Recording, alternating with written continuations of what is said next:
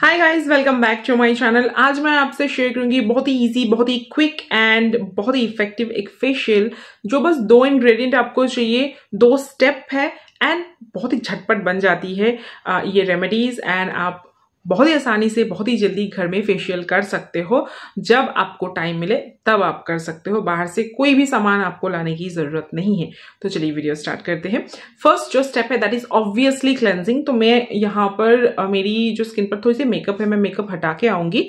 Then first जो step है cleansing उसके लिए आपको चाहिए रॉ मिल्क एंड उसके साथ आपको चाहिए नींबू। आधा नींबू आप ले लीजिए। अब ये जो रॉ मिल्क है, ये ठंडा हो तो और भी अच्छा होगा। इसमें आप ये नींबू का रस मिला दीजिए। ये जो दूध है, ये कडल हो जाएगी, फट जाएगी। ये जो कडल वाला मटेरियल है, ये आपकी स्किन पर आपको अप्लाई करनी है। अब आपकी फेस पर पूरी फेस पर अप्लाई कर लीजिए एंड 10 मिनट तक वेट कीजिए जस्ट लाइक दिस 10 मिनट के बाद आप देखेंगे ये जो कर्डल सा लिक्विड है, आपकी स्किन पर आधा तो एब्जॉर्व हो ही गई। अभी जो मेन चीज़ है, यहाँ पर आपकी फिंगर्स से इसे आपकी फेस पर मसलनी है। अच्छी तरह से मसलिए मतलब बहुत ही ज़ोर ज़ोर से आपको नहीं मसलनी है।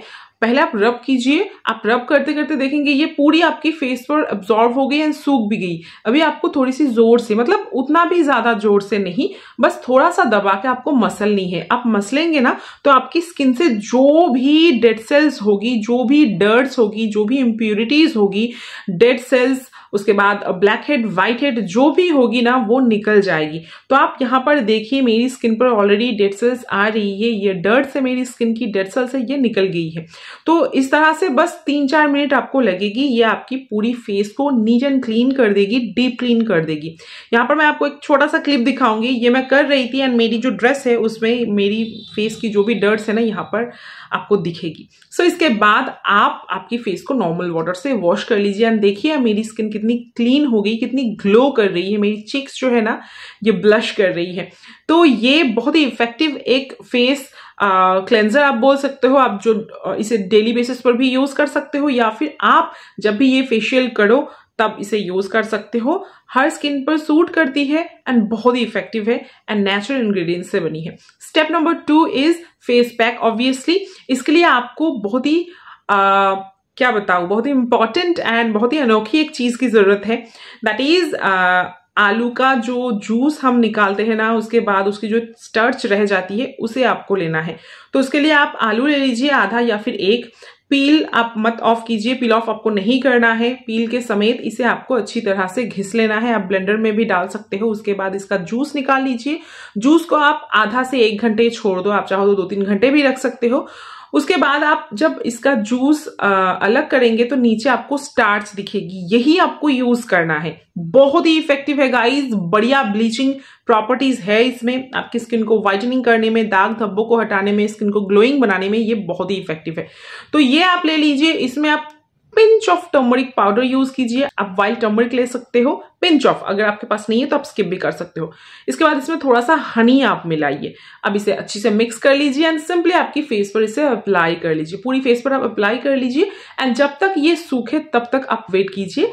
मतलब ट्वेंटी से थर्टी मिनट्स मैक्सिमम लगेगा। आप पंद्रह मिनट्स भी रख सकते हो।